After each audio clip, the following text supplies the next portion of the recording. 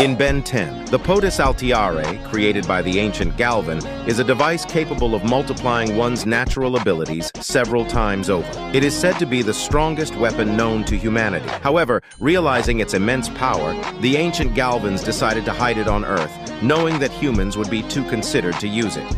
In the game, Ben 10 Ultimate Alien, Cosmic Destruction, six pieces of the Potis Altiare were scattered across the planet.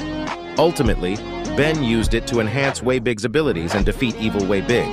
Anyways, subscribe if you think Ben can beat Goku after using Potis Altiare.